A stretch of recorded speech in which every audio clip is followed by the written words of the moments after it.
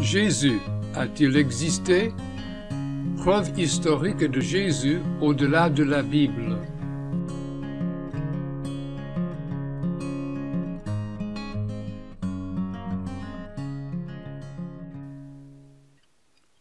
Le Nouveau Testament affirme sans équivoque qu'il y a un Dieu et un intermédiaire entre Dieu et l'humanité, le Christ Jésus, lui-même humain, qui s'est donné en rançon pour tous.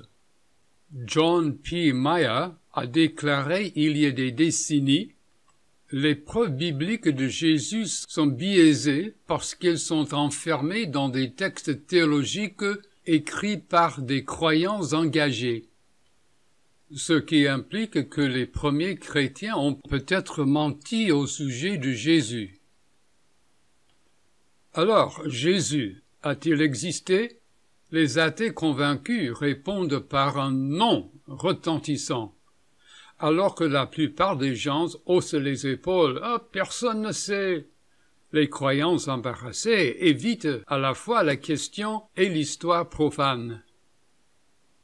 L'historien Lawrence Mukitiuk a compilé des preuves du Jésus historique, citant des références dans la littérature ancienne écrite par trois non-chrétiens.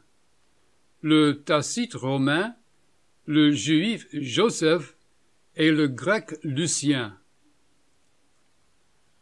Un historien romain, Caius Cornelius Tacite, qui a vécu entre 55 et 118 de notre ère. Au début de sa carrière, Tacite était proconsul d'Asie. Il est devenu l'un des historiens les plus attentifs de Rome.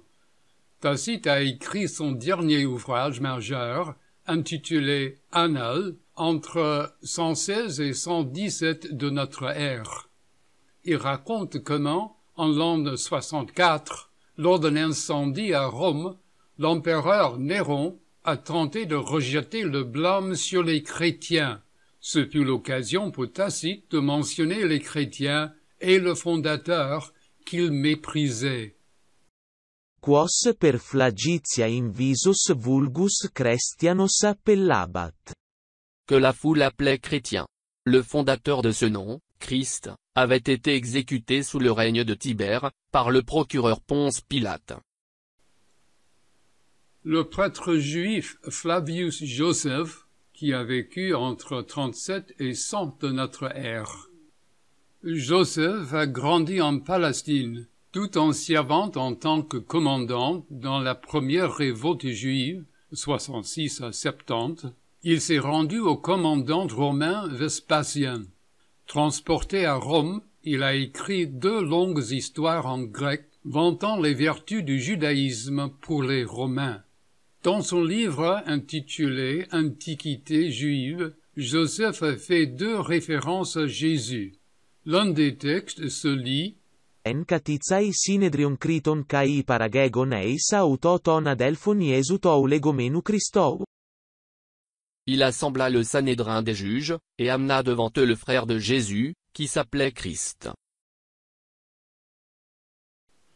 L'autre texte, acceptant la suppression par Jean P. Mayer des gloses chrétiennes ultérieures, se lit comme suit. Ginetai decatatuton ton chronon Iesus sophosaner, kai auton endeixeiton proton andron paremen stauroi epitetimekotos pilatu À cette époque, vivait Jésus, un homme sage. Quand Pilate, en l'entendant accusé par des hommes de la plus haute importance parmi nous, l'avait condamné à être crucifié. Le satiriste grec Lucien de Samosate, d'environ 115 à 200 de notre ère, en écrivant sur un inconnu ancien chrétien devenu cynique, mort en 165 de notre ère, Lucien lui a fait deux références sans pourtant le nommer.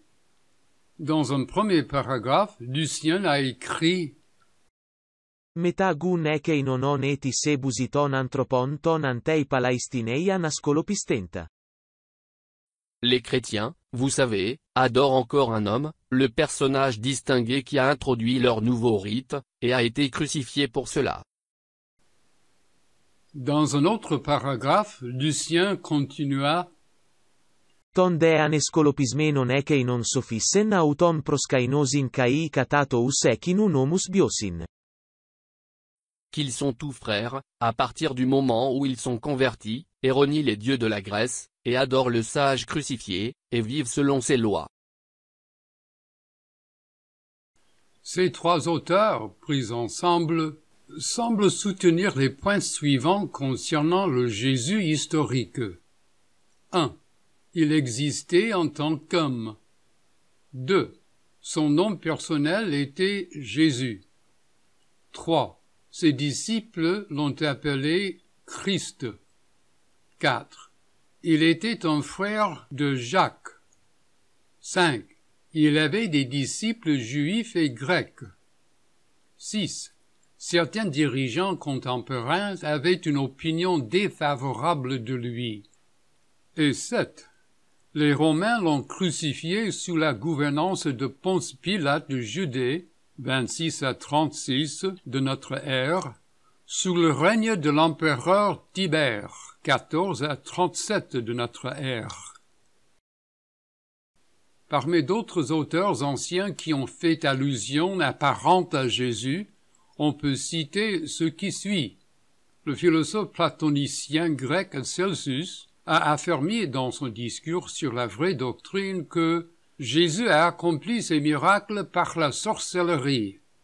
Le gouverneur romain de Bithynie et de Pontus, Gaius Secundus, 61 à 113, dans sa lettre à l'empereur Trajan, vers 111, a décrit comment il a arrêté et exécuté des chrétiens qui, a-t-il noté, chantent des hymnes à Christ comme à un Dieu. L'avocat romain Suétone, 69 à 122, peut se référer à Jésus dans son ouvrage Vie des douze Césars, quand il a écrit en 49 puisque les Juifs faisaient constamment des troubles à l'instigation de Christus, l'empereur les a expulsés de Rome. Le stoïcien païen syriaque Marabar Serapion, fait prisonnier par les Romains, peut-être vers l'an 72, écrit à son fils en syriaque quel avantage les Juifs ont-ils tiré de l'exécution de leur sage roi? C'est juste après que leur royaume a été aboli.